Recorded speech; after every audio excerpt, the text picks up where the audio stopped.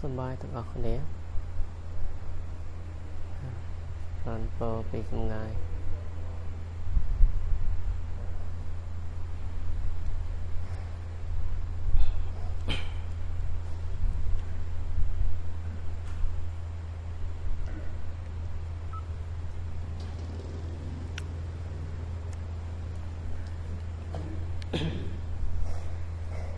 សូមអនុមោទនា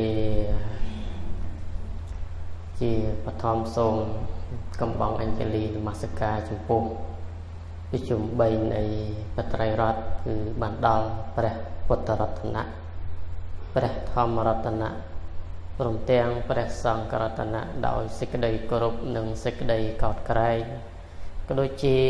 សេចក្តីជ្រះថ្លាដ៏ពងពោះនៅក្នុងត្រៃភពនឹងសូមធ្វើការអបជាយណៈ គ្រប់រាប់អានចំពោះប្រធេរានធរៈគ្រប់ព្រះអង្គក៏ដូចជាព្រះមន្ត្រីសង្ឃគ្រប់ឋានានុក្រមទាំងក្នុងនិងក្រៅប្រទេសដោយសេចក្តីគោរពអំពីចម្ងាយផងដែរនឹងសូមចម្រើនពរសពបរោះស្រីប្រុសពុទ្ធបរិស័ទឆ្ងាយចិត្តទាំងអស់ដែលខណៈពេលនេះកំពុងតែតាមដានស្ដាប់ក៏ដូចជាតាមដានទស្សនាការផ្សាយបន្តផ្ទាល់ នៅកម្មវិធីអប់រំចិត្តដែលផ្សាយចេញពីមណ្ឌលវិបស្សនាធរៈព្រំដែនក្អមសំណស្ថិតនៅទីតាំងភូមិក្អមសំណក្រោមឃុំក្អមសំណស្រុកលើកដែកខេត្តកណ្ដាលថ្ងៃនេះយើងជាថ្ងៃប្រហោះ9កើតខែបតមាសាទឆ្នាំចសម្រិទ្ធស័ក ពុទ្ធសករាជ2562ត្រូវនៅថ្ងៃទី21ខែមិថុនាគ្រិស្តសករាជ2018វេលាម៉ោង8ម៉ោង9យប់រៀងរាល់សប្តាហ៍ថ្ងៃច័ន្ទថ្ងៃប្រហោះនិងថ្ងៃសៅរ៍ជាកម្មវិធីនៃការជួបជុំសន្ទនាពធក៏ដូចជាការ ដោះស្រាយរាល់បញ្ហាសំណួរ បកណាពុទ្ធបរិស័ទស្រីប្រុសឆ្ងាយចិត្តទាំងអស់ដែលបានសាកសួរអំពីបញ្ហាកម្មផ្សេងផ្សេងក៏ដូចជាតេតិននៅក្នុងកិច្ចបដិបត្តិនៅក្នុងព្រះពុទ្ធសាសនានៃយើងជាពិសេសផ្នែកវិបស្សនាធុរៈតែម្ដង ដែលផ្ដោតទៅលើការចម្រើន នៅក្នុងសមាធិកិច្ចក៏ដូចជាវិបស្សនាកិច្ច ហើយថ្ងៃនេះខ្ញុំកណាអាត្មានឹងបន្តដោះស្រាយសំណួរក៏ដូចជាវេជ្ជញែកអំពីកិច្ចបដិបត្តិបន្តសម្រាប់ការយល់ដឹង មុននឹងបន្តនៅការដោះស្រាយបញ្ហាសំណួរក៏ដូចជាបំភ្លឺបន្ថែមអំពីកិច្ចបដិបត្តិយើងនិយាយអំពីជីវិតជាប្រចាំថ្ងៃរបស់យើងបន្តិចសិនដែលជាធម្មកថាសម្រាប់រលឹកដាស់តឿននៅក្នុងជីវិតរបស់យើង យើងបានសិក្សាអំពីធម៌វិន័យរបស់ព្រះសម្មាសម្ពុទ្ធដែលយើងពោលពាក្យថាធម្មវិន័យគឺការសិក្សាអាស្រ័យក្នុងធម៌និងវិន័យនៅក្នុងព្រះសាសនានៃព្រះអង្គនេះ ដើម្បីឲ្យស្គាល់អ្វីជាសេចក្តីល្អអ្វីដែលជាសេចក្តីអាក្រក់ហើយកំណត់ដឹងជាក់ច្បាស់ហើយថាផ្លូវនេះល្អផ្លូវនេះអាក្រក់អ្វីជាបុណ្យអ្វីជាបាបអ្វីជាកុសលអកុសល អញ្ចឹងអ្វីដែលជាផ្លូវកុសលយើងនាំគ្នាចម្រើនអ្វីដែលជាផ្លូវល្អអ្វីដែលជាផ្លូវអាក្រក់ដែលយើងហៅថាអកុសល គឺយើងត្រូវលះបង់ឬក៏បហាតបកិច្ចកិច្ចត្រូវលះបង់ភាវេតបកិច្ចកិច្ចកប3ចម្រើន នៅកុសលធម៌អញ្ចឹងហើយក្នុងការប្រព្រឹត្តជីវិតប្រចាំថ្ងៃរបស់យើងម្នាក់ម្នាក់ គឺប្រព្រឹត្តទៅតាមកម្មទាំងឡាយដែលមានកាយកម្មវិច័យកម្មមโนកម្មណាទាំង3នេះដែលជាសេចក្តីល្អដោយកាយដោយវាចាដោយចិត្តហៅថាសុចរិតធម៌កាលណាប្រព្រឹត្តនៅកម្មទាំងឡាយជាអកុសលហៅថាអកុសលកម្មឬក៏ទុច្ចរិតតិធម៌ធម៌ទុច្ចរិតការប្រព្រឹត្តអាក្រក់ដោយដោយកាយផងដោយសម្ដីផងដោយចិត្តផងហៅថាទុច្ចរិត អញ្ចឹងលទ្ធផលនៃការប្រព្រឹត្តហ្នឹងកាលណាយើងប្រព្រឹត្តបែបណាវានឹងចេញជាលទ្ធផលបែបនោះ យើងប្រព្រឹត្តហេតុណាវាដោះហេតុនោះណាអយើងដាំស្វាយបានផលជាស្វាយដាំពោតបានផ្លែជាពោតដាំចេកបានផ្លែជាចេកចឹងមកដាំស្រូវបានផលជាស្រូវចឹងមកដាំសណ្ដែកបានផលជាសណ្ដែកចឹងមកអញ្ចឹងយ៉ាងណាការរស់នៅក្នុងជីវិតជាប្រចាំថ្ងៃរបស់យើងនេះ វាប្រព្រឹត្តទៅក្នុងការដែលយើងរស់នៅនឹងគឺជាកុសលនិងអកុសល វាអាស្រ័យថាមនុស្សយើងគ្រប់គ្នានេះតើយើងពេញចិត្តក្នុងសេចក្តីល្អឬក្នុងសេចក្តីអាក្រក់ដូចយើងបានសិក្សាអំពីសុភាសិតរួចហើយកាលណាគ្រប់ព្រះអង្គក៏ដូចជាលោកយាយលោកតាថាមនុស្សល្អធ្វើសេចក្តីល្អបានដោយងាយអញ្ចឹងណាសុការាំងសាធុនីសាធុ មនុស្សល្អធ្វើសេចក្តីល្អបានដោយដោយងាយដោយឡែកមនុស្សអាក្រក់ធ្វើសេចក្តីល្អបានដោយលំលំបាកអញ្ចឹងហើយមនុស្សល្អធ្វើសេចក្តីល្អបានដោយងាយមនុស្សល្អធ្វើសេចក្តីអាក្រក់បានដោយលំបាកដោយឡែកមនុស្សអាក្រក់ធ្វើសេចក្តីល្អបានដោយលំបាកធ្វើសេចក្តីអាក្រក់បានដោយដោយងាយផ្ទុយគ្នាណាយាយណា4ហ្នឹង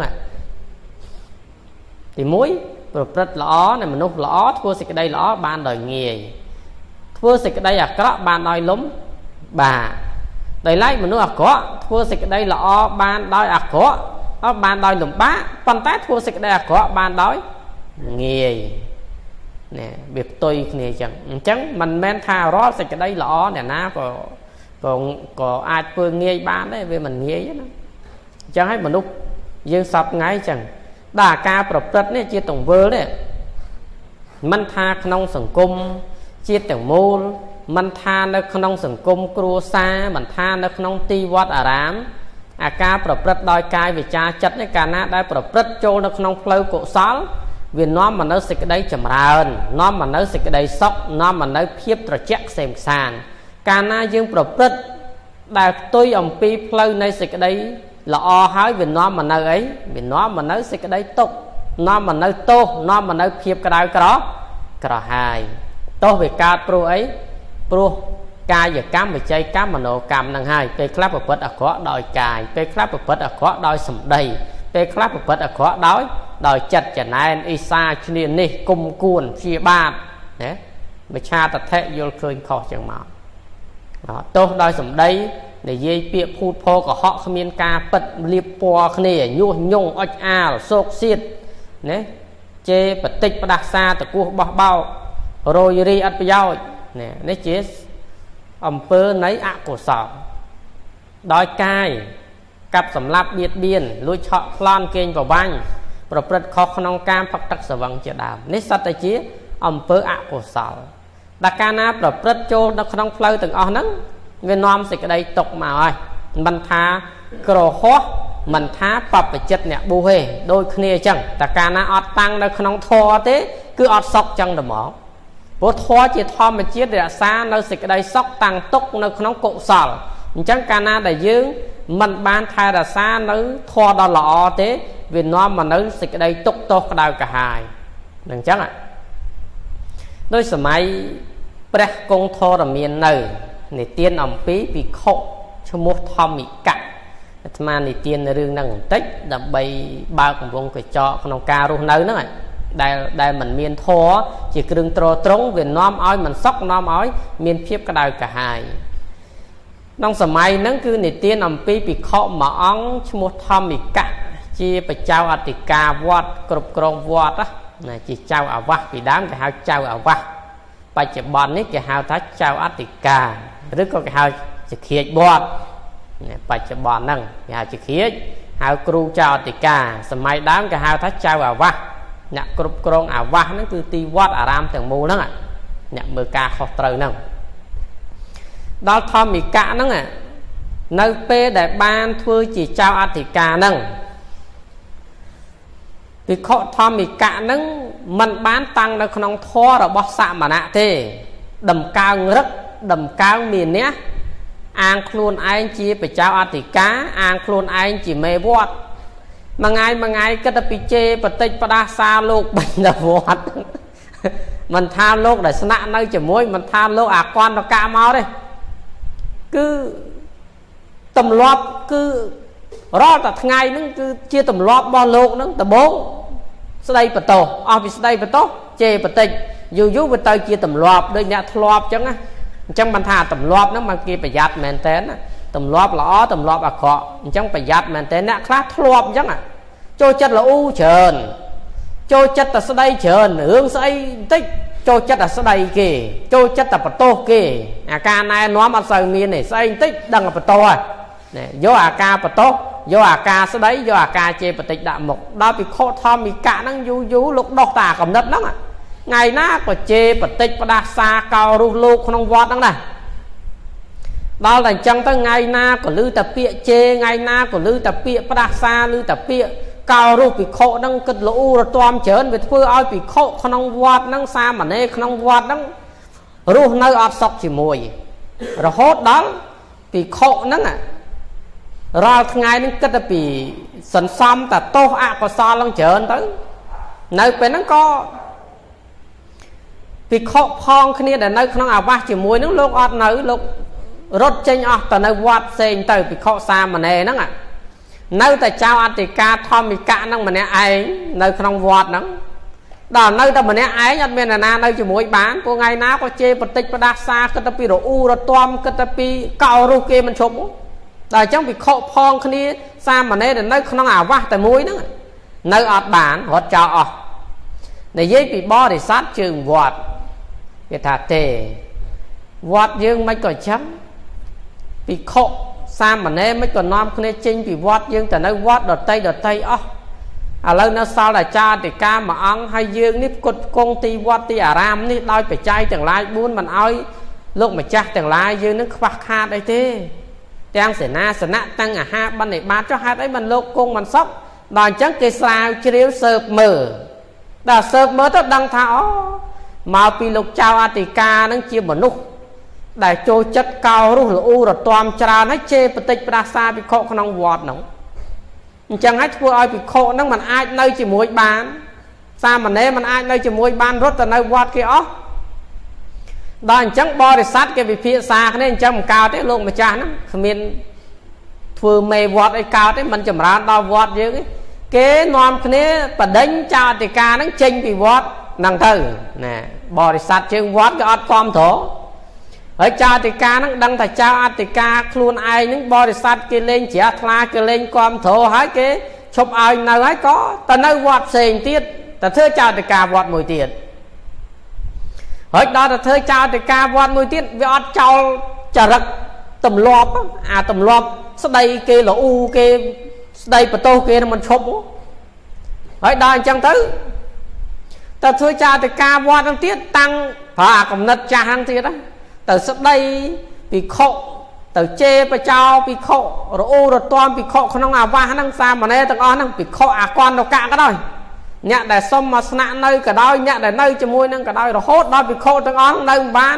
នាំគ្នារត់ចេញអស់ទៀតនៅតែម្នាក់ឯងបរិស័ទ គេជំនុំគ្នាភាសា គេឃើញអូលោកហ្នឹងជេរបតិចផ្ដាសាសម្ដីអាក្រក់ធ្វើឲ្យគេនៅមិនសុខនៅមិនសនុកកោរុះគេមិនឈប់គេដេញចេញពីវត្តហ្នឹងទៀតរត់ចេញពីវត្តហ្នឹងទៅវត្តមួយទៀត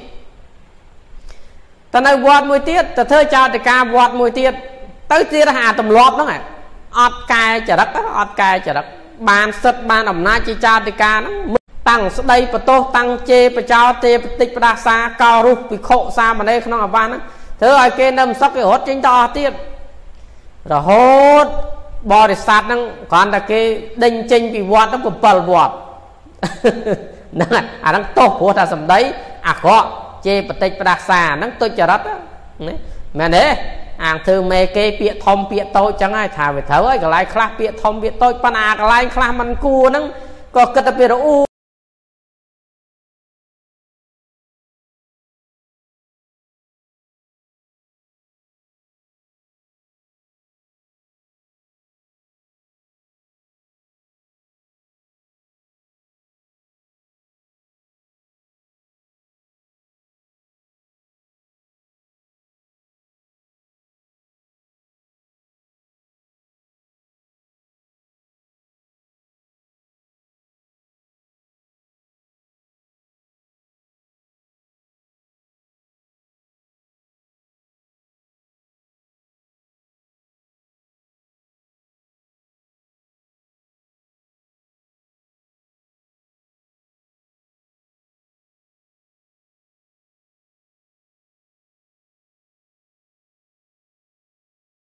តែមិនได้លោតដាច់នៅស្ដាប់បានច្បាស់ទេបងទាំងអស់គ្នាអ្នកដែលកំពុងតែស្ដាប់ការអាត្មានេះដូចជាលោត slow មិញអ៊ីនធឺណិតមិនតែអ្នកស្ដាប់កំពុងស្ដាប់បើសិនជាស្ដាប់បានទេ ច្បាស់ទេបន្តទៀតបើអត់ទេផ្ដាច់ភ្ជាប់សារថ្មីក៏លើវា ស្ដាប់មិនបាននាំខាតពេលសង្ស័យថាដាច់ឲ្យដឹងស្ងាត់ឈឹង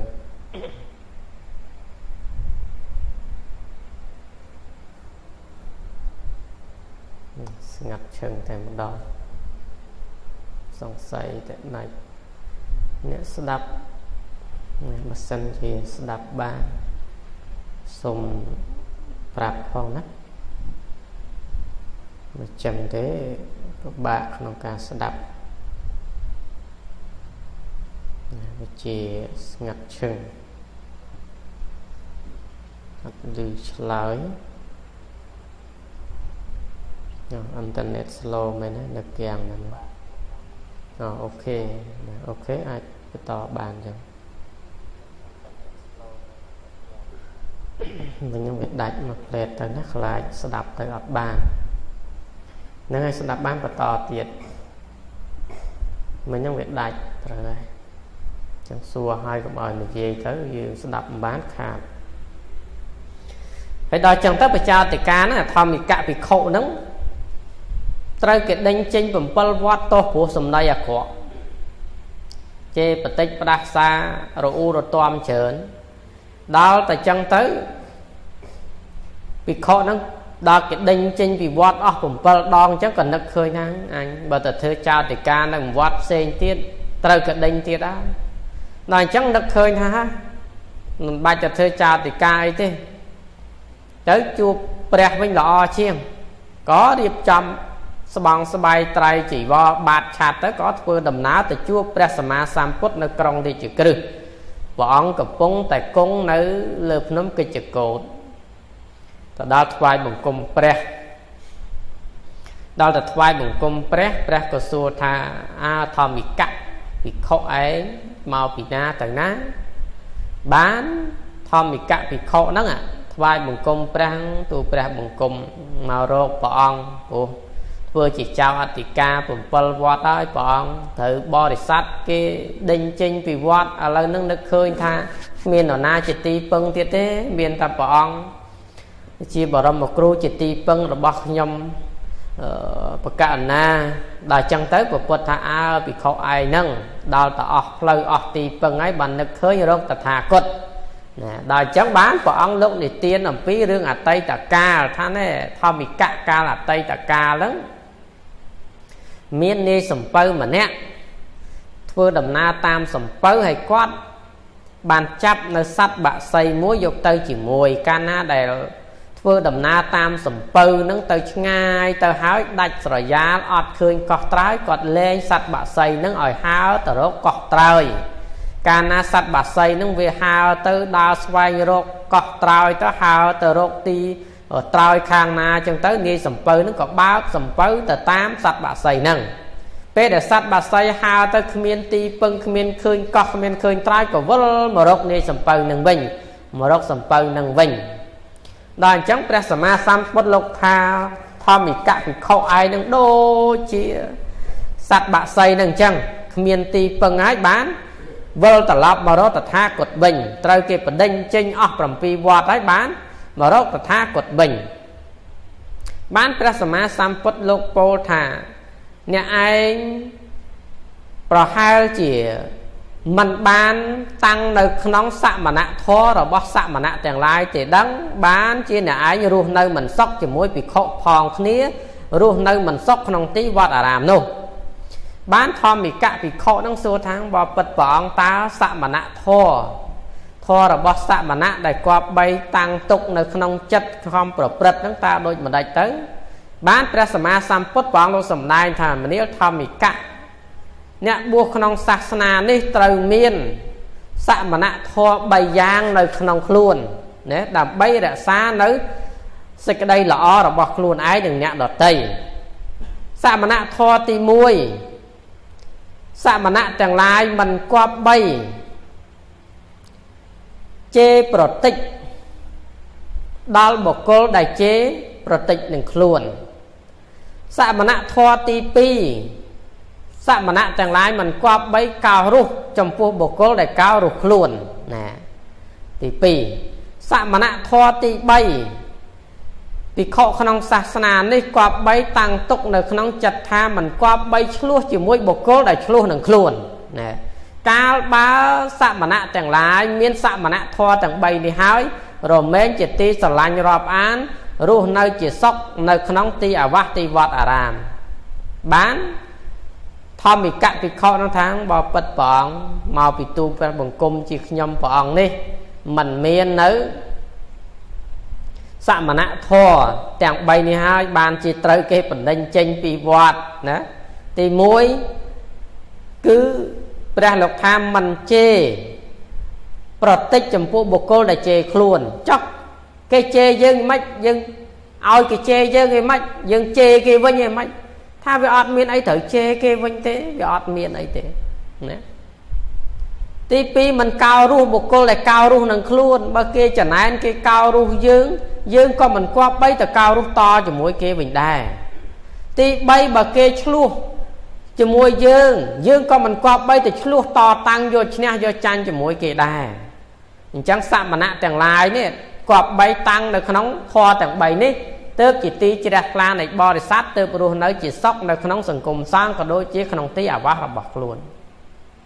នេះអញ្ចឹងព្រះអង្គលោកសំដែងនឹងហើយក៏ព្រះអង្គសំដែងលើករឿងមួយទៀតប្រាប់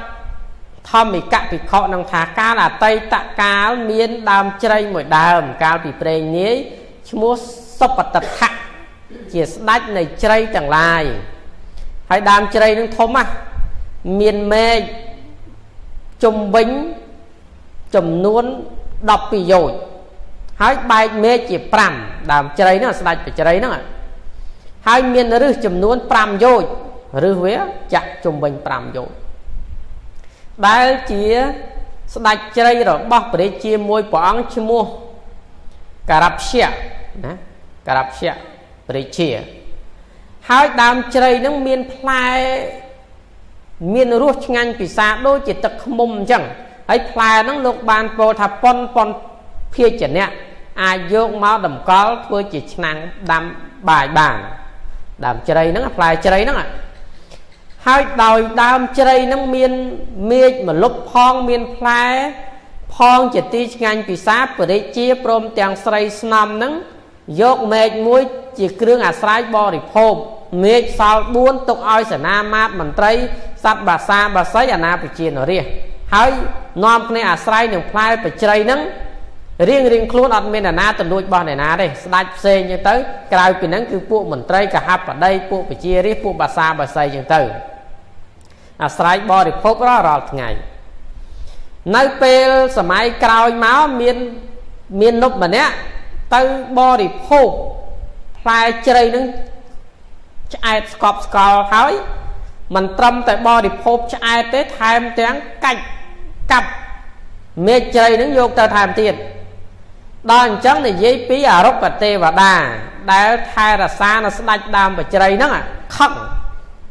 ខឹងអីបរោះនេះចង្រៃមែនបរិភោគឆ្អែតមិនគ្រប់គ្រាន់ទេមកកាច់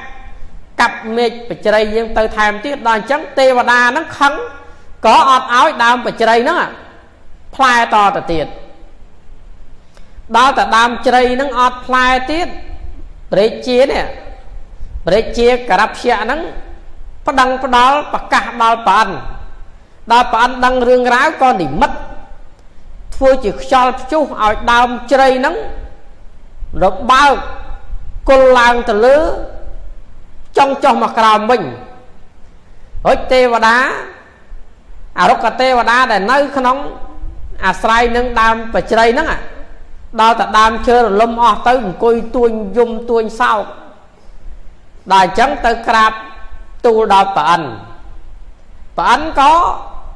សួរថាអ្នកឯងយំរឿងអីការទុករឿងអីថាងលំនៅទូព្រះបង្គំជាខ្ញុំព្រះអង្គត្រូវខ្យល់ជុះខ្យល់គួចឥឡូវនេះត្រូវរឹសឡើងប្រឈរទៅលើចុងចុះមកក្រោមហើយព្រះអង្គគ្មានទីលំនៅអាស្រ័យទៀតទេបានព្រះអង្គថា ប្រហែលជាអ្នកឯងហ្នឹងมันបានតាំងទុកនៅក្នុងរុក្ខធរទេ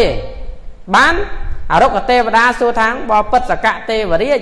តើអរុក្ខធរហ្នឹងមានន័យដូចម្ដេចទៅបានសកទេវរាជសម្ដែងថាអរុក្ខធរគឺចង់សំដៅថា មនុស្សទាំងឡាយគេត្រូវការរឹសឈើគេនាំយកទៅផង គេត្រូវការសម្បកឈើគេនាំទៅផង គេត្រូវការស្លឹកគេនាំទៅផងគេត្រូវការការគេនាំទៅផងគេត្រូវការផ្លែគេនាំទៅផងអ្នកមិនគប់បីអអន់នឹងខឹងចំពោះគេទេឲ្យគេយកទៅចោះណែมันគួរបន្ទុះសរាយมันគួរខឹងនឹងគេទេបើអ្នករសាក្នុងគរុធរនេះបាន ដើមជ្រៃនោះនឹងអាចតាំងនៅមមដោយដើមធម្មតាអ្នកនឹងមានលំនៅដោយដើមបាន រុក្ខទេវតាទាំងមកពីទូព្រះបង្គំខ្ញុំព្រះអង្គនេះมันបានតាំងនៅក្នុងរុក្ខធរធររបស់ទេវតារុក្ខទេវតាខឹងប្រកាន់ហ្នឹងត្រង់ហ្នឹងដល់អញ្ចឹងទៅបានរុក្ខទេវតារក្សាអ្នកណាយកផ្លែឈើក៏យកទៅអ្នកណាយកសម្បកក៏យកនាំទៅចោះអ្នកណាយកស្លឹកក៏យកចោះអ្នកណាយកផ្លែក៏យកចោះអ្នកណាយកឬក៏យកចោះមិនបន្ទុះមិនសរាយទេ ដើមឈើណាស្ដេចប្រជែងក៏ផ្លែធម្មតាមនុស្សទាំងឡាយក៏សបាយរីករាយក្នុងការប្រស្រ័យជាមួយនឹងដើមជ្រៃនឹងបរិជាទាំងឡាយក៏ដូចគ្នាចឹងដែរអញ្ចឹងលើករឿងហ្នឹងចង់និយាយពីការរស់នៅនេះឲ្យមានចេះចេះអត់អោនគ្នាសម្បទានគ្នាកុំចេះតែសម្លឹងឃើញទោសគ្នាណែកុំប្រកែប្រកាន់គ្នាហើយជាពិសេសយើងអ្នកកាន់ពុទ្ធសាសនានេះតែម្ដងព្រះសម្ដែងទៅឲ្យមានព្រមវិហារធម៌ មានចិត្តមេត្តាស្រឡាញ់រាប់អានគ្នាយោគយល់គ្នាចេះជួយកែលម្អគ្នាអត់មានប្រពត្តតាមធរឯណារងថ្ងៃគេទេនាមតកាន់ពុទ្ធសាសនាបើឆ្លោះគ្នាពេញទឹកពេញដីប្រកាសសង្គ្រាមគ្នាជេរបចោគ្នាពេញទឹកពេញដីគេទេដោយសារអត់មានធរមានសេចក្តីសុខមកពីណាដោយសារអត់ធរហ្នឹងក្នុងវត្តក្នុងអារាមអត់សុខអត់ចម្រើន រវាងចៅអធិការជាមួយលោកសង្ឃក្នុងវត្តគ្នាឯងជាមួយនឹងបរិស័ទជើងវត្តដោយសារអីដោយសារអាការដែលទី1សម្លឹងទោសគ្នា មួយទៀតគឺការប្រមាថដល់គ្នានឹងគ្នាគេទេដូចដូចធម្មិកភិក្ខុនឹងអញ្ចឹងបានព្រះអង្គលោកប្រជុំជាដកមកនេះតែធម្មិកភិក្ខុឯងហ្នឹងគឺអញ្ចឹងដោយសារតែมันបានតាំងនៅក្នុងសមណៈធម៌នឹងឯងបានត្រូវគេបណ្ដេញចេញអំពីវត្តណែបានស្ដាប់ការទូលមានរបស់ព្រះអង្គទៅក៏លះបង់នៅអាការ ទម្លាប់ជេរបតិចផ្ដាសានឹងកោរុះទៅ នៅ ជាសក់ទៅរហូតដល់ខំប្រឹងប្រតិបត្តិធម៌ទៅភិក្ខុធម្មិកៈហ្នឹងនឹងអញ្ចឹងហើយនឹងចង់លើករឿងនឹងមកក្នុងគ្រួសារក៏ដោយ ក្នុងសង្គមជាតិក៏ដោយ ក្នុងទីវត្តអារាមក៏ដោយអញ្ចឹងបានថាធម៌នេះវាសំខាន់ណាស់កាលណាដែលយើងអត់មានធម៌ក្នុងសន្តានចិត្តរបស់យើងហើយអត់ស្តុកទេរាល់ថ្ងៃនេះធម៌នៅតែកពីធម៌នៅតែមាត់ថាបណ្ណាទង្វើវាមិនចូលធម៌ អ្នកខ្លះនិយាយតែធម៌កោកោពេញតែមាត់ហ្នឹងបណ្ណាចរិតគ្មានធម៌ឯក្នុងខ្លួនឯបន្តិចខ្លះដើរតែធ្វើបន់ពេញទឹកពេញដីប៉ុន្តែគ្មានចិត្តបន់ឯបន្តិចចិត្តបាបចិត្តអ៊ីសាចំណែនឈ្នានេះគ្នារោរឿងគ្នាលេបពណ៌គ្នាខឹងគ្នាបន្ទុះគ្នាធរនៅកន្លែងណាភ្លេចខ្លួនណាភ្លេចខ្លួនហើយអូតអ្នកធរណាអញ្ចឹងមិនថាត្រូវគិតចំណុចទាំងអស់ហ្នឹងឡើងមកវិញនេះគ្រាន់តែជា សតិដាស់តឿនបញ្ញាស្មារតីរបស់លោកយាយលោកតាក៏ដូចជាពុទ្ធបរិស័ទយើងអ្នកកាន់ពុទ្ធសាសនាណាទាំងអស់គ្នាអញ្ចឹងហើយកាលណាដែលយើងមាននៅចិត្តធរច្រើននេះវាធ្វើឲ្យសេចក្តីសុខកាយសុខចិត្តរបស់យើងក៏ច្រើនហើយយើងអត់ណាពេលខ្លះអត់មានយកធរដាក់មុខអ្នកខ្លះគេដើរតែធ្វើបន់លិចកាតជើងត្បូងប៉ុន្តែនិយាយពីចិត្តអត់មានធរបន្តិចទេចំណែនក៏ចំណែន កោរុះគេក៏កោរុះគេអុចអាលគេក៏អុចអាលគេហើយធរនៅកន្លែងណាជួងកាលជេរគេណាជេរបន្តិចផ្ដាសាគេដូចដូចឆ្នាំមុនឃើញគេបង្ហោះ Facebook យាយមួយចូលក្នុងវត្តជេរគេឲ្យផ្អើលពេញវត្តពេញអារាមជេរទាំងលោកជេរទាំងយាយជេរទាំងតាពេញទៅវត្តហើយតើធរនៅត្រង់ណា យើងញាក់ធរណោះញាក់ដែលរោគសិលរោគទៀនរោគភាវនាភ្លេចខ្លួន អញ្ចឹងហើយត្រង់នេះហើយគេហៅថាអត់គិតអាងអំណាចជួនកាលអាងសិទ្ធជាចោតិកាអាងសិទ្ធជាគ្រូគេចង់ស្ដីចង់ជេរបចោគេស្រែកតាមចិត្តហើយអាងថាវាត្រូវតែថាត្រូវតែជេរបចោវាមិនមែនអញ្ចឹងទេអ្នកដឹកនាំគេមិនអញ្ចឹងទេវិធីល្អល្អមកកណោដែលត្រូវប្រើមិនមែនតែអ្នកអត់សូវមានវិធីអីប្រើចូលចិត្តតែរឿងប្រើតែពាក្យជេរបតិចប្រាសាទវាមានចម្រើនគេដូចធម្មិកវិខហ្នឹងវាបានតែគេស្អប់វាបានតែគេ មិននៅក្បែរកើតអត់ទេអាថងហ្នឹងហើយ បានថាត្រូវរក្សាធម៌ហ្នឹង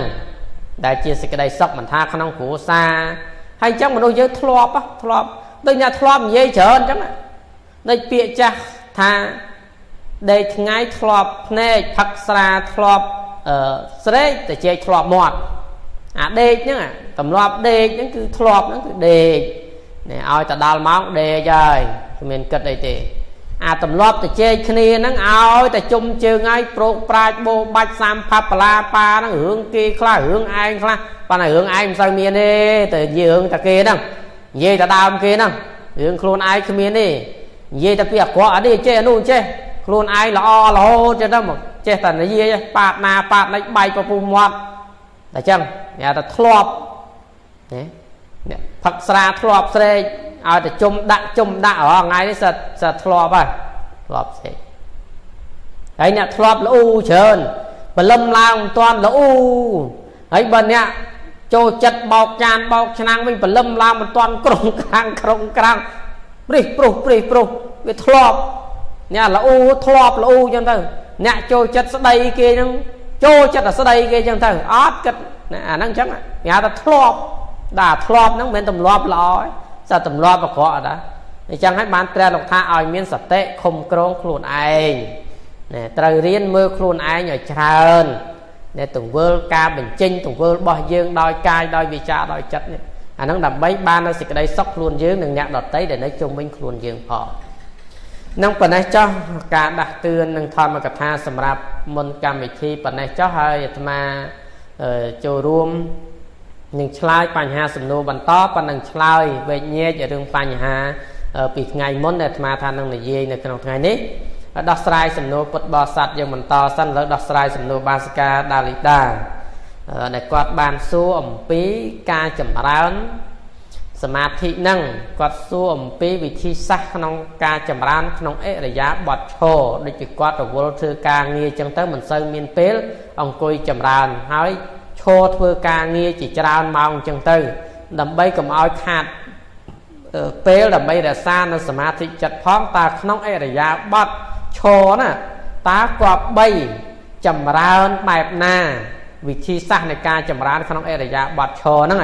គាត់ចង់បានវិធីសាស្ត្រមធ្យោបាយបាសិកាអឹងដាលីដានៅខាងប្រទេសអូស្ត្រាលីគាត់បានសួរពីពីវិធីសាស្ត្រក្នុងការចម្រើនហ្នឹង ហ្នឹងបញ្ហាហ្នឹងហើយសូមលោកយាយលោកតាទាំងអស់គ្នាចូលរួមដោះស្រាយហើយចុងក្រោយចំខ្ញុំកណាអាត្មាសរុបអញ្ចឹងសំណួរនេះសូមចូលរួមមួយសំណួរនេះសិនទៅចាំអឺសល់ពេលនឹងដោះស្រាយបន្តទៀតហើយព្រោះខ្ញុំកណាអាត្មានឹងវេកញែកបន្ថែម សង្កេតពីរឿងសមាធិដែលយើងបានបដិបត្តិពីថ្ងៃមុននោះនិយាយពីថ្ងៃមុន នឹងលំអិតបន្តនៅក្នុងថ្ងៃនេះផងអញ្ចឹងពេលវេលាយើងក៏មានកំណត់អញ្ចឹងសូមដោះស្រាយមួយសំណួរនេះសិនទៅហើយចាំដោះស្រាយបញ្ហាបន្តទៀតសូមអនុមោទនាអញ្ចឹងសូមគ្រប់ជើងទាំងអស់គ្នាណាខ្ញុំក្រណាសូមក្រាបថ្វាយបង្គំ ប្រណតនៈត្រៃទាំង3ដោយស្ដីគោរពជ្រះថ្លាដល់អង្គពុទ្ធនិងសូមក្រាបថ្វាយបង្គំចំពោះអង្គគ្រូជាទីសក្ការៈនិងសូមក្រាបថ្វាយបង្គំព្រះសង្ឃគ្រប់គ្រប់អង្គទាំងអស់ហើយមានប្រវត្តិវិននៅក្នុងទីនេះទាំងអស់និងសូមគោរពលោកតាគ្រូលោកយាយលោកតាទាំងអស់ទីគ្រប់រាប់អាននៅក្នុងសំណួររបស់បាសកាគាត់បានសួរថា ក្នុងវិធីដែលគាត់ ឈរធ្វើមហូបក្តីនេះតើគាត់ចង់កុំឲ្យខាតពេលគឺគាត់ចង់ធ្វើសមាធិនៅក្នុងពេលដែលគាត់កំពុងឈរនេះតើធ្វើដោយរបៀបណាក្នុងអរិយាបថទាំង4នេះគឺការដែលយើងធ្វើសមាធិនេះគឺមានដូចគ្នានឹងការធ្វើសមាធិក្នុងពេលដែលយើងអង្គុយដែរគឺតោងយកខ្យល់អាណាបាដូចគ្នាទាំងអស់អញ្ចឹងវា អត់មានខុសពីនេះទេអត់មានខុសពីអេរិយាបថអង្គុយទេនៅក្នុងរបៀបធ្វើសមាធិនេះគឺយើងដូចគ្នាទាំងអស់នៅក្នុងអេរិយាបថទាំង4សូមអរជាបងសូមក្រាបថ្វាយគុំលាបងសូមអរគុណ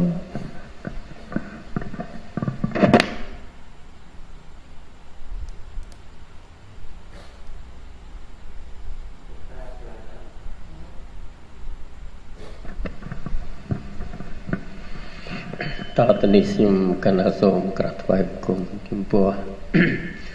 កណ្ណាព្រះគ្រូធិបតីនៃកម្មវិធីធម្មសាស្ត្រវិជាធម៌ក្រាបថ្វាយបង្គំចំពោះព្រះសង្ឃគ្រប់ព្រះអង្គ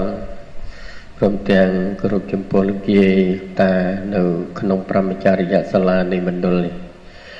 សូមអរកាយក្រាបថ្វាយបង្គំពីចម្ងាយចំពោះព្រះកណ្ណាព្រះសង្ឃគ្រប់ពុទ្ធសាសនមណ្ឌលក្នុងនិងក្រៅប្រទេសហើយ នឹងគោរពចំពោះលោកយាយលោកតាបាសកបាសិកាសប្បុរសពុទ្ធបរិស័ទទាំងអស់នៅក្នុងនឹងនៅនីសមុទ្រទាំងអស់ហើយក៏សេចក្តីនេះក៏ជ្រះថ្លាចំពោះកណាលោកយាយលោកតាដែលជាអ្នកជ្រះថ្លានៅក្នុងគុណប្រតនត្រ័យក៏ដូចជាការដែល បានចូលរួមនៅក្នុងកម្មវិធីបប្រតិបត្តិនៃសមាធិអវាសិកាដាលីដាដែលបានលើកសំណួរនេះក៏សូមសម្ដែងនៅទឹកចិត្តជ្រះថ្លាអនុមោទនាផងដែរដោយបញ្ហានៃសំណួររបស់បាសិកាដាលីដានៅប្រទេសអូស្ត្រាលី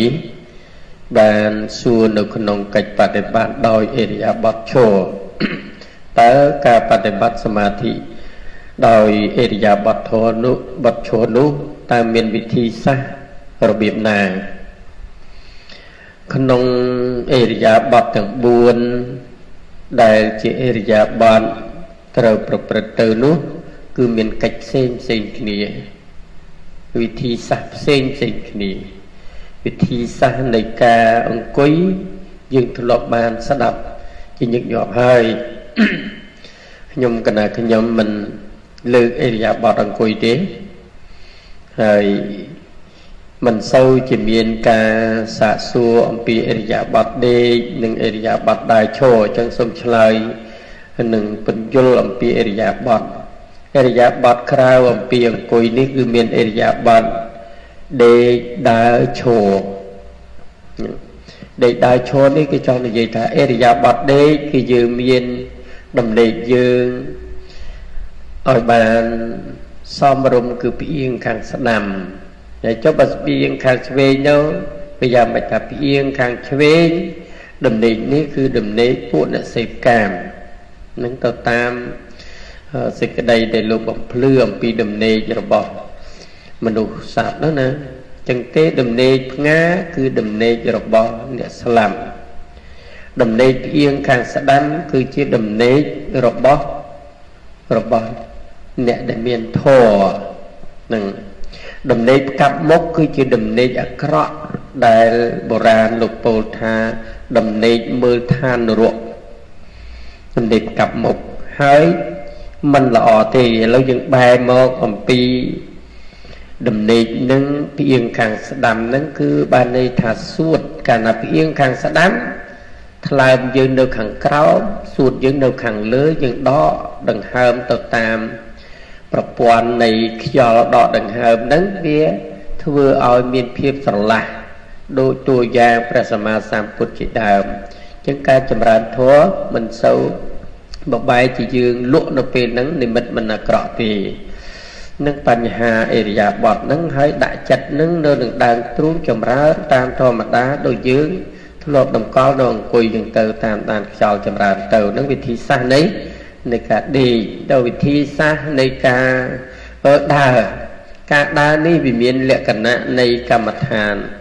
កម្មដ្ឋានដែលយើងចម្រើនអនាបានសតិកម្មដ្ឋានដែលយើងដើរឲ្យយើង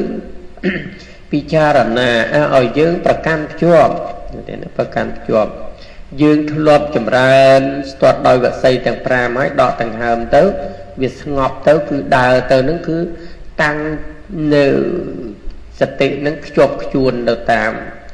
ការដើររបស់យើងទៅយើងមិនបាច់ជាដាក់ចិត្តនៅតាមជំហានយើងឬក៏យើងនឹងដែលជាអ្នកចម្រើនទៅមិនទាន់បានដល់នៅធម៌ស្ងប់រៀនសម្ពយុទ្ធធម៌និង ហើយបរិកម្មធម៌នឹងទៅតាមជំហានដែលយើងដើរទៅនឹងក្នុងការចម្រើននឹងនឹងសូមបញ្ជាក់ត្រង់ចំណុចនេះបន្តិចថាបើសិនណាជាយើងស្ទាត់ធ្លាប់តែដកដាក់កងចិត្តឲ្យស្ងប់ឈឹងទៅខ្យល់ហ្នឹងវានៅតិចតិចនឹងទ្រូងនឹងដែរហើយនឹងដើរតាមធម្មតាទៅតម្កល់ចិត្តនៅក្នុង នៅក្នុងកម្មដ្ឋាននឹងទៅ តែបើសិនណាជាយើងនឹងជាអ្នកនៅបរិកម្មនៅប្រព្រឹត្តទៅនៅក្នុងការ កើតឡើងនៃឧបចារចិត្តនឹងតិចទៅនឹងតិចទៅមិននឹងនឹងគឺមានកិរិយាប្រព្រឹត្តទៅតាមជំហានរបស់យើងនឹងគឺវិធីសាស្ត្រនៃការដើរវិធីសាស្ត្រនៃការឈរការឈរនេះវាមាន2ឈរមួយគឺឈរសម្រាប់ផ្ចង់សតិស្មារតីដើម្បីចម្រើនតែម្ដងនៅទីស្ងាត់ណាទីស្ងាត់ចឹងទៅបិទភ្នែកទៅតាមដានខ្យល់ទៅឈរ មួយទៀតឈរធ្វើការងារឈរដាំស្លឈរដេឈរអីចឹងទៅ ក្នុងការឈរនេះតើត្រូវធ្វើដូចម្ដេចដោយវិធីសាស្ត្ររបៀបណាការដែលឈរនៅក្នុងការចម្រើន ជាការមួយងាយនឹងស្ដាប់បានទេថាយើងឈរទៅតម្កល់ចិត្តយើងដាក់នៅនឹងដើមទ្រូងតាមដានខ្យល់នឹងទៅអានឹងអេរិយាបថនឹងគឺយើងអត់ធ្វើអីគឺយើងឈរចម្រើនទៅមកមួយទៀត យើងឈរដែរតែឈរធ្វើការងារឈរកាច់ទៅឈរបេះសណ្ដែកឈរដាំស្លកន្លែងរោងបាយខ្លះឈរធ្វើចឹងទៅឈរដេឈរអីចឹងធររៀបខោអាវសម្លៀកបំពាក់ចឹងសួរថាធ្វើមិនថាអានឹងគឺយើងវាមិនបានជាសភាពនឹងណូទេបើយើងនៅជាអ្នកដែលកំពុងតែប្រព្រឹត្តទៅនៅក្នុងឧបចារចិត្តចិត្តខ្ចីនឹងតិចទៅវា ចិត្តនឹងវាទៅកាន់វាថាបត់ខោអាវចឹងទៅទៅកាន់នឹងទៅបន្តិចទៅមិននឹកដង្ហើមចឹងទៅនៅពេលដែលយើងស្លចឹងទៅនឹករោគសាច់ដាក់នឹងចាននឹងដាក់ទៅក្នុងឆ្នាំងឬក៏ខ្លាញ់ចឹងទៅងាកហ្នឹងទៅហើយដកដង្ហើមមកដឹងវិញទៅវាប្រទៀងប្រទងគ្នាហ្នឹងវាមិនអាចនឹងយើងនឹងបានទេចឹងនេះបានជានៅក្នុងអិរិយាបថទាំងឡាយ4នេះគឺព្រះសម្មាសម្ពុទ្ធ លោកបានបញ្ជាក់ថាវាមានអតិមានអតិភិបខ្លាំងគឺអិរិយាបថអង្គុយនឹងវាសំគួរដល់ចរិតទាំងប៉ុន្មាននឹងចំណែកនៃការលើកឡើងជូននេះតែបញ្ជាក់ជូនថានិស័យស័នយាយខ្លះតាខ្លះប្រសងអង្គខ្លះសាងពិជាតិមុនមកនៅក្នុងនិស័យអីជួនកាលទៅបានដោយសារ ការចម្រើនធម៌បានដោយសារការនិមន្តការដើរទៅចង្ក្រមឬក៏មិនចង្ក្រមខ្លះទៀតទៅបាននៅក្នុងអេរិយាបថឈរទៅខ្លះអេរិយាបថអង្គុយទៅខ្លះអេរិយាបថដេកទៅចម្លែកជាងគេទាំងអស់ក្នុងពុទ្ធសាសនាមានតែអនន្តនេះអនន្តគឺព្រះអង្គសម្រាប់មគ្គផលហ្នឹងនៅក្នុងចន្លោះអេរិយាបថទាំង4ដេកមិនដេកដើរមិនដើរឈរមិនឈរអង្គុយមិនអង្គុយតែអេរិយាបថអី អរិយាប័ត្រនៅពេលចិត្តថ្ងៃចិត្តរុនរះឡើងលោកប្រតិបត្តិធម៌ដោយក្តីអស់សង្ឃឹមឲ្យចុងក្រោយចិត្តរុនរះទៅគ្រាន់តែផ្អៀងថានឹងសឹងដោយក្តីអស់សង្ឃឹមកើតធម៌នៅចន្លោះនឹងទៅនឹងខ្ញុំកាលណាខ្ញុំបានរួមឆ្លើយប្រមាណប៉ុណ្ណេះនៅក្នុងចម្លើយរបស់បាសិកាដាលីដានេះសូមផ្ញើពីចម្ងាយពីក្អមសំណរទៅផង និងប្រគិនជូនដល់បកណាមចាស់នៅអូស្ត្រាលីក្តីនិងគ្រប់បណ្ដាខេត្តក្រុង និងបណ្ដាប្រទេសផ្សេងផ្សេងសូមអនុមោទនី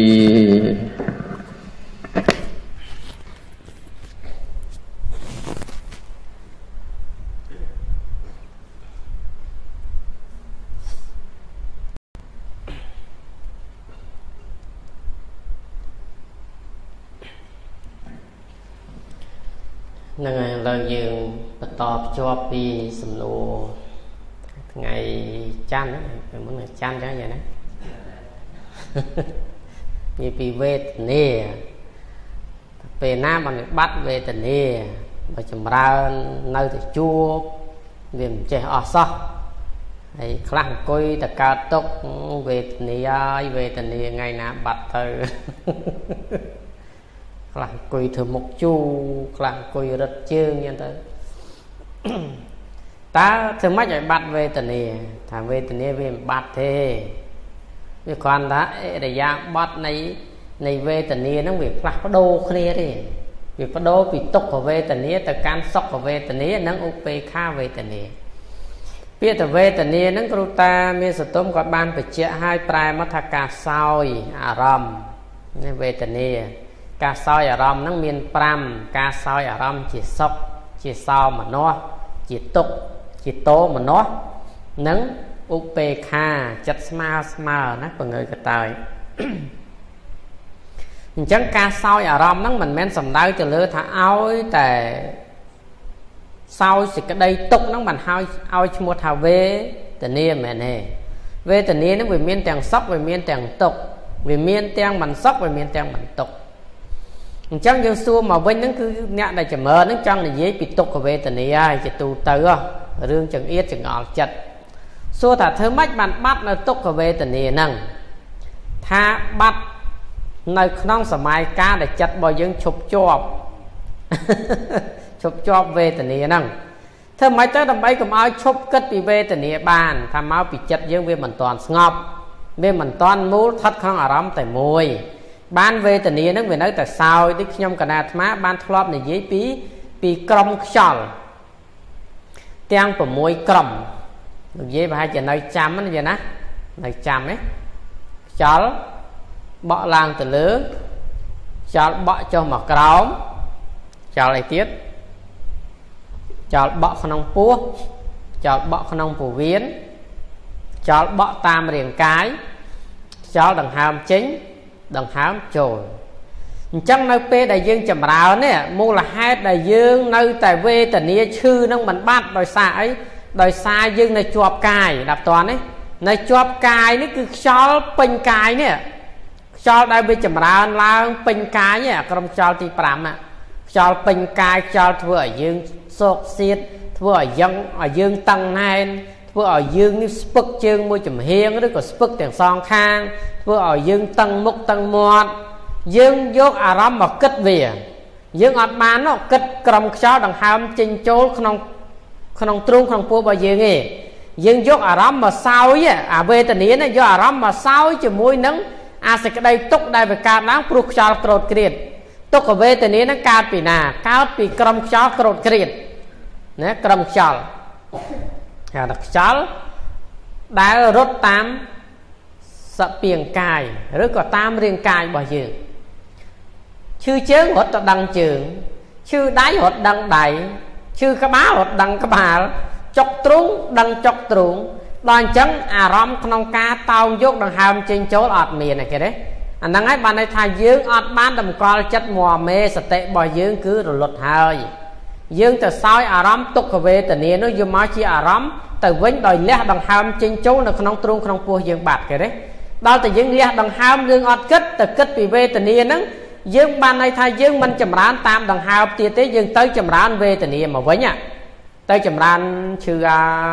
ចុកអាណែណាដល់ថ្ងៃណាវាបាត់ទេជួនកាល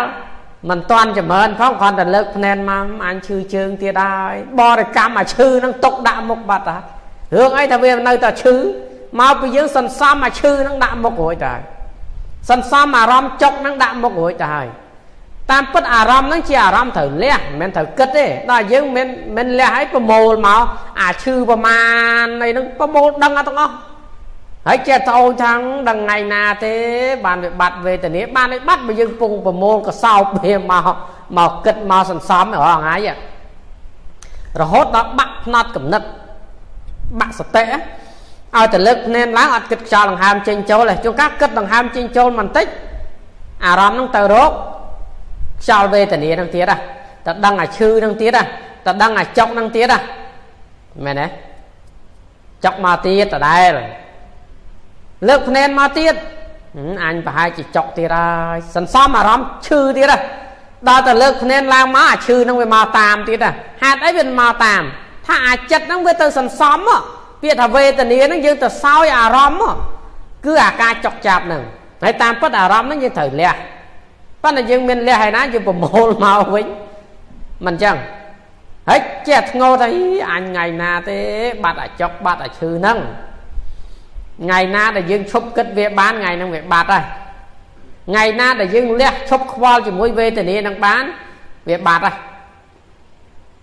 ចុះធ្វើម៉េចទៅដើម្បីបាត់វេទនាថាឲ្យបាត់វេទនាវាអត់បាត់ទេប៉ុន្តែយើងរកវិធីថាធ្វើម៉េចដើម្បីឈប់ឲ្យទុក្ខវេទនាកើតឡើងអាប្របាកទ្រាំឈឺចុកធ្វើម៉េចឲ្យបាត់ថាបើចង់ឲ្យបាត់ទី1កុំគិតវា ទី2មកគិតខ្យល់នេះវិញព្រោះយើងមិនមែនចម្រើនវេទនាចុកឈឺនឹងទេ យើងចម្រើនតាមដង្ហើមចេញចូលក្នុងកាយរបស់យើងអញ្ចឹងយកសតិហ្នឹងមករលឹកខ្យល់ឲ្យជាប់លើកភ្នែនឡើងកុំតែគិតរឿងឈឺគិតរឿងដង្ហើមចេញចូលឯនេះធ្វើឲ្យបានជាប់លាប់រឿយរឿយទៅអាឈឺអាចុកចាប់ហ្នឹងវាបាត់ហើយហើយតែលើកភ្នែនឡើងសន្សំតែអារម្មណ៍ឈឺហ្នឹងទេវានៅតែឈឺហ្នឹង ហើយឈឺហ្នឹងបាត់នៅពេលណាឈឺហ្នឹងបាត់នៅពេលដែលចិត្តមូលក្នុងដង្ហើមចេញចូលអាហ្នឹងអាឈឺហ្នឹងបាត់ហើយវាមានតែអារម្មណ៍គឺវេទនាគឺសុខវេទនាសោមនស្សរីករាយសបាយចម្រើនទៅរីករាយព្រោះចិត្តស្ងប់ទៅអារម្មណ៍ស្រស់ថ្លាកើតបៃតិសុខកាយសុខចិត្តកើតបស្សទ្ធិស្ងប់កាយស្ងប់ចិត្តមកអាទុក្ខវេទនាហ្នឹងវាលែងមានព្រោះយើងអត់ជាប់វាទៀតទេ អារម្មណ៍យើងស្ងប់ជាមួយដង្ហើមចេញចូលអញ្ចឹងចិត្តហ្នឹងអត់ឃ្លាតមកសោយអារម្មណ៍តាមបញ្ញទ្វានេះទេអារម្មណ៍ខាងក្រៅអញ្ចឹងហើយវេទនាហ្នឹងក៏វារសាត់ចេញអំពីចិត្តយើងយើងអង្គុយលេងដឹងឈឺលេងដឹងចុកចាប់ហើយមានតែអារម្មណ៍ជាសុខតែម្យ៉ាងនឹងជាចម្លើយណាហើយអ្នកអង្គុយពិនិត្យមើលខ្លួនឯងទៅមកតែពីយើងនៅជាប់ជាមួយអាខ្យល់ហ្នឹងអាខ្យល់ឈឺយើងអត់ព្រមលះ តាមពិតខ្យល់ហ្នឹងគេលះហើយដល់យើងប្រមូល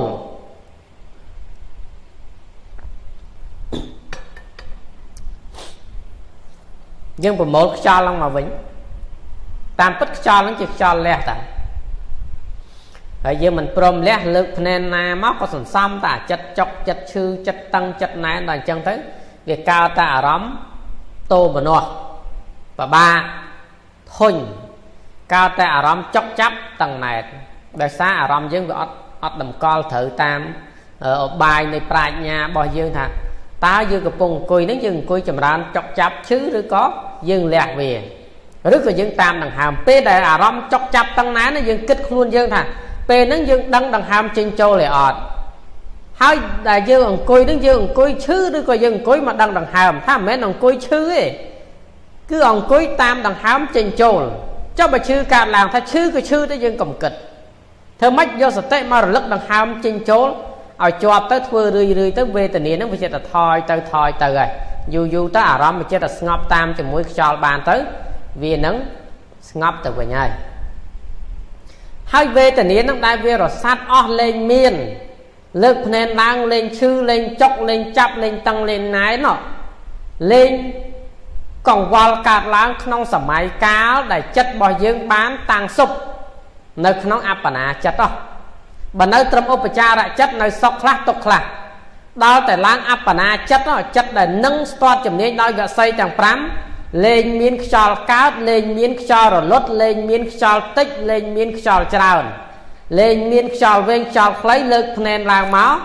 មានតែខ្យល់ល្អិតស្ងប់ស្មើអានឹងបាត់ហើយវេទនាលើកភ្នែនណាមកក៏លែងចុកលែងឈឺហើយ បើនៅតែខ្យល់នឹងវែងខ្លីនៅតែកើតនៅតែរលត់ទេវេទនានឹងនៅតែមានណានៅតែមាន ចម្រើនតាមដង្ហើមនឹងរហូតដល់ខ្យល់នឹងវាលែងកើតលែងរលត់លែងវែងលែងខ្លីលែងតឹងលែងណែនលើកភ្នែនដាក់អារម្មណ៍ទៅកាន់ដង្ហើមពេលណាស្ងប់យកតែម្ដងអានឹងលែងមានចុកចាប់ទាំងណែនេះមានតែសេចក្តីសុខកាយរីករាយផ្លូវចិត្តនិងសេចក្តីស្ងប់ហើយយើងចម្រើនទៅដល់កន្លែងហ្នឹង មកពីយើងអារម្មណ៍មិនតាន់ស្ងប់ចម្រើនមិនតាន់ដល់កម្រិតទើបវានៅតែឈឺនៅតែកើតនៅតែរលត់នៅតែម្ដងសុកម្ដងទុកដោយសារអីដោយសារតែយើងអត់តាន់ថ្នឹកដល់តាន់ទេយាយអាហ្នឹងជាមូលហេតុមកពីយើងអត់តាន់អប់រំចិត្តរបស់យើងបានអារម្មណ៍របស់យើងមិនទាន់ស្ងប់អញ្ចឹងព្យាយាមបន្តទៀតនឹងប៉ុណ្ណេះចោះមួយទៀតនិយាយពីរឿងថាចម្រើនទៅមិនឃើញអីសោះ យើងត្រូវគិតពីអារម្មណ៍របស់យើងដែលយើងនិយាយសិផាតអញ្ចឹងណាហើយឮតែគេចម្រើនឃើញនេះឃើញនោះហើយខ្ញុំក៏ណាធ្វើប្រហែលឆ្នាំដូចវាមិនឃើញអីគេសោះដាក់ទៅតែស្ងប់ឈឹងវាមិនដឹងបានធរឲ្យអត់ទេមើលទៅបើវអត់ទុកចិត្តខ្លួនឯងទៀតតែអញនឹងត្រូវខុសឯផ្លូវហ្នឹងដូចអត់ឃើញបាននឹងគេសោះយើងត្រូវស្គាល់ពីអារម្មណ៍សិន ស្គាល់ពីអារម្មណ៍មិនកម្មដ្ឋាន40ឥឡូវនេះយើងចម្រើនក្នុងអារម្មណ៍ណា ថាចម្រើនខ្យល់4តកូលឯ4តកូលមានឲ្យឃើញអីក្រៅតែឃើញតែខ្យល់ហ្នឹងហើយទៅរកឃើញអីហើយចុះឮថាគេឃើញហ៎ថាឃើញហ្នឹងឃើញពលឺនេះឃើញពលឺនោះឃើញរូបពណ៌ខៀវលឿងក្រហមសអាហ្នឹងវាជានិស័យមួយទៀតនៅពេលដែលគេស្ងប់វាឃើញ ប៉ុន្តែបើទោះបីឃើញក៏ដោយក៏អត់ឲ្យចាប់យកដែរព្រោះយើងចម្រើនខ្យល់ដង្ហើមចេញចូលគឺអត់មានតោងយកសមាធិក្នុងពេលហ្នឹងអត់មានតោងយកនិមិត្តអីយកមកជាអារម្មណ៍ក្រៅតែពីនិមិត្តគឺខ្យល់តែម្យ៉ាងទេអញ្ចឹងតែតតោងយកតែខ្យល់ហ្នឹងទៅឃើញអីតែទោះឃើញអីក៏អត់ត្រូវដែរណាប់តន់ទេណាអត់ត្រូវទេលុះត្រាតែយើងបានចម្រើនខ្យល់ហ្នឹងស្ងប់ហើយសមាធិក្នុងពេលហ្នឹងស្ងប់កាយស្ងប់ចិត្តបានអបណាហើយ បានយើងទៅរកកម្មដ្ឋានដតីផ្សេងទៀតដូចជាកសិនអាហ្នឹងបានមាននិមិត្តទៅរកកន្លែងឃើញអាហ្នឹងឬក៏អាការៈ32ឬក៏ទៅរកអសព10អាហ្នឹងបានទៅរកកន្លែងឃើញចុះឥឡូវនេះយើងថាវាអត់មានត្រូវឃើញអីសំខាន់គឺអប់រំចិត្តហ្នឹងឲ្យស្ងប់បានស្ងប់កាយស្ងប់ចិត្តបានចិត្តនឹងជាអបណារឹងមាំហើយ បានទៅរកកម្មដ្ឋានដតីទៀតដើម្បីក្នុងការចម្រើនឃើញផ្សេងផ្សេងទៀតដល់តើហ្នឹងយាយណាមិន ហើយយើងយើងនៅតែចេញចូលចេញចូលហ្នឹងយើងទៅរកឃើញអីនេះរកឃើញអីចឹងបានសមាធិហ្នឹងចែកចេញជា3ក្នុងអារម្មណ៍ពេលចម្រើនណាទី1គេហៅថាសមាធិនិមិត្តសមាធិនិមិត្តហ្នឹងអត់ចម្រើនយកអីមកជាអារម្មណ៍ឃើញទេគឺធ្វើមិនចម្រើនក្នុងអារម្មណ៍របស់កម្មដ្ឋាននឹងធ្វើចិត្តឲ្យស្ងប់តែម្យ៉ាងទេស្ងប់កាយស្ងប់ចិត្តស្ងប់អារម្មណ៍ អង្គុយឲ្យបានស្ងប់កាយស្ងប់ចិត្តហ្នឹងទេតោងយកអារម្មណ៍ស្ងប់កាយស្ងប់ចិត្តជាធំមួយទៀតទី2សមាធិទី2គេហៅថាបគាហនិមិត្តគឺសេចក្តីប្រារព្ធជាយាមដើម្បីញ៉ាំងនៅសមាធិឲ្យកើតឡើងទាំងស្ងប់ផងទាំងនិមិត្តផងគេថាបគាហនិមិត្តណែឲ្យស្ងប់ទាំងកាយស្ងប់ទាំងចិត្តនិងញ៉ាំងនិមិត្តឲ្យកើតឡើងផងនៅសមាធិទី2 ដល់សមាធិទី3គេហៅថាឧបេខានិមិត្តគឺសមាធិដែលធ្វើឲ្យចិត្តកើតឡើងឧបេខាចិត្តប្រងើយកន្តើយស្មើអារម្មណ៍នឹងណោមិនសោមនោះមិនតោមនោះអារម្មណ៍នៅនឹងគេហៅថាជាចិត្តឯងចិត្តស្មើមិនឃ្លីងខ្លងមិនផ្អៀងទៅកាន់អារម្មណ៍ជាសុខជាទុក្ខនៅស្មើជាកដាលនេះគេហៅថាឧបេខានិមិត្តអញ្ចឹងសមាធិទាំង3ហ្នឹង ដែលយើងកំពុងតែចម្រើនហ្នឹងឥឡូវនេះយើងនៅក្នុងណាណានិយាយនៅក្នុងណានៅក្នុងសមាធិនិមិត្តអត់មានតោងយកអីទាំងអស់ក្រៅអំពីធ្វើកាយនិងចិត្តឲ្យស្ងប់មែនទេឃើញអីក៏ដោយក៏អត់តោងយកមកដែរតោងយកតែអារម្មណ៍គឺសមថាអារម្មណ៍គឺអារម្មណ៍ស្ងប់តែម្យ៉ាងទេស្ងប់កាយស្ងប់ចិត្តអត់តោងយកនិមិត្តអីផ្សេងមកទេអញ្ចឹងអារម្មណ៍ដែលស្ងប់ក្នុងទីនេះយើងតោងយកអាណាបានសតិអញ្ចឹងអត់ឃើញនិមិត្តអីទេ ដល់តើណាអត់មាននិមិត្តអីទេ សំខាន់ក្នុងអារម្មណ៍នោះឲ្យយើងស្ងប់ដឹងខ្លួនយើងថាស្ងប់ទី1ស្ងប់កាយខ្យល់ហ្នឹងគឺលេងប្រជុំតាក់តែងកើតរលត់ទៀតហើយគឺខ្យល់ហ្នឹងលើកភ្នែនពេលណា ស្ងប់ពេលហ្នឹងដល់តើណាលេងមានខ្យល់កើតរលត់លើកភ្នែនពេលណាចិត្តនោះក៏វាស្ងប់ពេលហ្នឹងលែងមាននិវរណៈធម៌ជាគ្រឿងគ្របសង្កត់ហៅថាសមថារម្មណ៍ឬក៏សមាធិនិមិត្តស្ងប់កាយស្ងប់ចិត្ត ដល់តែស្ងប់កាយស្ងប់ចិត្តបានហើយហ្នឹងបានទៅបគាហនិមិត្តចម្រើនព្យាយាមធ្វើម៉េចទៅតាមកម្មដ្ឋានអារម្មណ៍ផ្សេងផ្សេងទៀតឲ្យកើតនៅនិមិត្តផ្សេងផ្សេងធ្វើការប្ររពឲ្យកើតនៅឧកហនិមិត្តឬក៏បរិកម្មនិមិត្តបរិភិកនិមិត្តកើតឡើងបន្តទៅទៀតមកអញ្ចឹងនៅពេលដែលយើងចម្រើនអាណាបានឹងបានស្ងប់ហើយស្ងប់កាយស្ងប់ចិត្តល្អហើយចិត្តនឹងនឹងណោស្ទាត់ជំនាញដោយវស័យទាំង5នឹងហើយ បានយើងទៅចម្រើននៅកម្មដ្ឋានដតីបរិកម្មរាវរោគនៅអារម្មណ៍ដែលមាននិមិត្តដូចជាចម្រើននៅអាការៈ32បរិកម្មរាវរោគនៅគេសាលោមានអ្នកខាតន្តារហូតអាការៈ32ជាអនុឡំបដិឡោមអាហ្នឹងបានឃើញឬក៏ចម្រើននៅកសិនតោងយកបតវ័យអបោតេជោវិយោនិលកសិនអោទាតកសិនបៃតកសិនអាលោកសិនអាកាសកសិនហ្នឹងណា យកមកចម្រើនអាហ្នឹងបាន ទៅបែកខាងនិមិត្តឃើញទៀត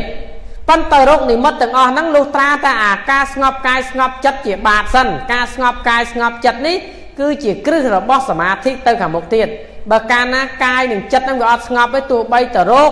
កម្មដ្ឋានដែលមាននិមិត្តហ្នឹងក៏ទៅអត់ឃើញដែរហើយនៅពេលដែលយើងចម្រើនអាណាបានេះដែលយើងចម្រើនហើយដល់កម្រិតដែលយើងត្រូវផ្លាស់អារម្មណ៍ទៅកាន់កម្មដ្ឋានដតី លុះត្រាតែចម្រើនអាណាបាហ្នឹងឲ្យដល់កម្រិតគឺចម្រើនរហូតដល់ឧបេខានិមិត្តដល់តហ្នឹងនិយាយណាចម្រើនដល់ចិត្តហ្នឹងជាឧបេខានិមិត្តសិនព្រោះនៅពេលដែលយើងទៅចម្រើននៅនិមិត្តកម្មដ្ឋានដតីកាលណាចិត្តមិននឹងណោចិត្តនៅញាប់ញ័រអារម្មណ៍ហ្នឹងវាអត់តាំងមមទេគ្រាន់តែឃើញពលឺស្រាប់តែចិត្តវារំភើបញាប់ញ័រពលឺនឹងបាត់ទៅវិញណាលុះត្រាតែឧបេខានិមិត្តកើតឡើងក្នុងការចម្រើនស្ងប់កាយស្ងប់ចិត្តនឹងហើយ បានយើងឃើញនិមិត្តអីក៏អារម្មណ៍ហ្នឹងវាមិនឃ្លីងឃ្លោងអាចតាំងនៅបានអញ្ចឹងបានឲ្យនៅចម្រើនអាណាបាហ្នឹងភាកច្រើនហ្នឹងដើម្បីអីយើងនឹងនៅតែទៅមកទៅមកនៅកន្លែងហ្នឹងវាអត់តាន់ស្ងប់អញ្ចឹងកុំឆ្ងល់ទេខ្ញុំកណាចម្រើនយូរអត់ឃើញអីសោះថាអាណាបានសតិនេះអត់មានតែឃើញអីទេ មានតែនិមិត្តគឺខ្យល់ដង្ហើមចេញចូលតែម្យ៉ាងហើយនិមិត្ត ក្នុងការឃើញស្ងប់កាយស្ងប់ចិត្តរលត់នៅកាយរលត់នៅចិត្តដែលច្បោកច្បល់ដែលរាយមាយបានចិត្តស្ងប់អារម្មណ៍មូលតែមួយហៅថាចិត្តទេកតាចិត្តមូលតែមួយអេកកតាចិត្តអារម្មណ៍តែមួយកើតឡើងចិត្តលេងរៀងមាយលេងមិនដែរដងគ្រប់សង្កត់នៅនេះវរណៈធម៌ទាំង5បានហើយចិត្តនឹងក៏ស្អាតបរិសុទ្ធទើបយើងទៅបន្តចម្រើននៅកម្មដ្ឋានដតីទៀតកើតដល់តនេះ ឬក៏មិនទៅចម្រើនកម្មដ្ឋានដតីណាទេខ្ជិលទៅចម្រើនកម្មដ្ឋានដតីណាច្រើនចម្រើនតែអាណាបានឹងមួយទៅហើយចូលទៅកាន់អារម្មណ៍របស់វិបស្សនាបញ្ញាបន្តទៅទៀតទៅពិចារណាខន្ធធាតអាយតនៈពិចារណារូបបរមត្តនាមបរមត្តឲ្យឃើញតាមសេចក្តីពិតនៃសង្ខារធម៌ទៅក៏បានដែរបើយើងមិនចូលទៅកាន់អារម្មណ៍កម្មដ្ឋានដតីយើងដាប់តនទេយេណាណាអញ្ចឹងនេះបញ្យលពី បែបផែននៃការបដិបត្តិហ្នឹងគឺងាយងាយខ្លីខ្លីអឺបងអូនប្រុសឧត្តមអឺសួរចង់ដឹងពីប្រវត្តិរបស់សីវលីអូរឿងហ្នឹងវែងណាឥឡូវដល់ម៉ោងហើយចាំថ្ងៃសៅរ៍ចាំអាត្មាសំដែងឲ្យស្ដាប់ណារឿងហ្នឹងរឿងវែងតិចឥឡូវដោយសារយើងអស់ម៉ោងហើយ អញ្ចឹងចាំថ្ងៃថ្ងៃសៅរ៍ណាវណ្ណដំណានៅភ្នំពេញរឿងសីវលិឬក៏សីវលីណារឿងហ្នឹងវែងដែរចាំថ្ងៃសៅរ៍ចាំអាត្មាសំដែងជូនចុះព្រោះថ្ងៃនេះអស់ម៉ោងហើយហើយរឿងហ្នឹងវែងទៀតអាចមួយរឿងហ្នឹងអាចប្រហែលជា1ម៉ោងហ៎អញ្ចឹងចាំថ្ងៃសៅរ៍ចុះណាទុកពេលថ្ងៃសៅរ៍បានមានឱកាសសម្រាប់បកស្រាយដោយសារថ្ងៃនេះអស់ពេលហើយអញ្ចឹងការបកស្រាយសំណួរនេះឲ្យវិលទៅកាន់បាសិកាដារីដាវិញការអង្គុយ នឹងការចម្រើនធ្លាប់ហើយប៉ុន្តែឥឡូវចង់ដឹងពីវិធីសាស្ត្រនៃការឈរចម្រើនអឺលោកយាយក៏ដូចជាគ្រូតាមានសតុំនឹងបានបកស្រាយរួចហើយអាចល្មមនឹងស្ដាប់បានក៏អាត្មាបញ្ជាក់បន្ថែមថាអារម្មណ៍យើងអង្គុយបែបណាក្នុងអរិយាប័តឈរហ្នឹងក៏ដាក់ចិត្តដាក់អារម្មណ៍ដូចគ្នាអញ្ចឹងគ្រាន់តែផ្លាស់តែអរិយាប័តទេធ្វើការនឹងដៃក៏ដោយធ្វើអីក៏ដោយ អារម្មណ៍ហ្នឹងគឺសតិស្មារតីយើងនឹងរលឹកដង្ហើមចេញចូលគ្រប់វិរៈនៃការបំពេញការងាររបស់យើងហ្នឹងណាធ្វើការងារធម្មតាចិត្តយើងអារម្មណ៍យើងនៅផ្ដោតជាមួយនឹងដង្ហើមយើងគ្រប់ខណៈទាំងអស់ណាគ្រប់ខណៈដែលយើងធ្វើទាំងចំហៀនដើរទាំងឈរមួយកន្លែងណាគឺយើងត្រូវមានសតិរលឹកខ្យល់ដង្ហើមចេញចូលជាប្រកបដីរលឹកក្នុងទ្រូងក្នុងពោះឬក៏មករលឹកនៅចុងច្រមុះក៏បានសំខាន់ យើងអាចរលឹកមួយណាបានស្រួលនឹងជំរាបជូនអញ្ចឹងណាវិធីសាស្ត្រនៃការចម្រើនដូចតែអង្គុយចឹងដាក់ចិត្តដាក់អារម្មណ៍ដូចគ្នាប៉ុន្តែគ្រាន់ថាយើងមិនថ្មិចភ្នែកដោយការអង្គុយទេមិនពេនភ្នែកដោយការអង្គុយទេបើភ្នែកធម្មតាកាយវិការធ្វើធម្មតាប៉ុន្តែស្មារតីរបស់យើងរលឹកខ្យល់ដង្ហើមហ្នឹងគឺគ្រប់ពេលវេលាដែលតាមយើងអាចរលឹកទៅបាននឹងអរិយាបថឈរឬក៏ដើរហ្នឹង នឹងជំរាបជូនប៉ុណ្ណេះចុះដោយសារដល់ម៉ោងហើយសូមបញ្ចប់ប៉ុណ្ណេះចុះអនុមោទនីហើយសេះសល់បញ្ហាសំណួរចាំបន្តនៅថ្ងៃសៅរ៍ណាថ្ងៃសៅរ៍បន្តទៀតសម្រាប់ដោះស្រាយសំណួរបន្ថែមដោយសារថ្ងៃនេះយើងអស់ម៉ោងហើយមុនបញ្ចប់ប្រគិនបនកសលកណាពុទ្ធបរិស័ទស្រីប្រុសទាំងអស់ឆ្ងាយចិត្តទាំងក្នុងនិងក្រៅប្រទេសក៏ដូចជាប្រកាសណាយុលតាដែលមានវត្តមានក្នុងទីមណ្ឌលបាសនាទរៈព្រំដែនក្អមសំណរទាំងមូលនេះក៏សូមទទួលបានចំណែកនៃធម្មទាន ហើយបាននៅសេចក្តីសុខសេចក្តីចម្រើនមានបញ្ញាសមាធិហើយកសុំឲ្យបានរួចចាកទុកទោសកម្មពីវរាហើយកសុំឲ្យបានទទួលនៅពធនៃព្រះសម្មាសម្ពុទ្ធបាននៅសេចក្តីសុខកាយសប្បាយចិត្តទាំងអស់គ្នាកំបីអខានឡាយអនុមោទនីហើយកាលណាពុទ្ធបរិស័ទស្រីប្រុសទាំងអស់ដែលមិនបានស្ដាប់ហើយចង់ស្ដាប់បន្តអាចបើកស្ដាប់សារវិញបានហើយយ៉ាងទៀត ពធនៃកិច្ចបដិបត្តិក៏ដូចជាការសម្ដែងរបស់ខ្ញុំកណាអាត្មាបានដាក់នៅក្នុង line នឹងខ្លះហើយមួយទៀតនៅក្នុង YouTube អាចចូលទៅកាន់ YouTube ស្ដាប់បានវាយស្ដាប់ទៅតាមឆ្នាំក៏បានហើយវាយឈ្មោះខ្ញុំកណាអាត្មាភាពណានៅក្នុង YouTube ហ្នឹងចូលទៅ search ទៅវាយតែឈ្មោះទុំវចនាទៅ T O U M V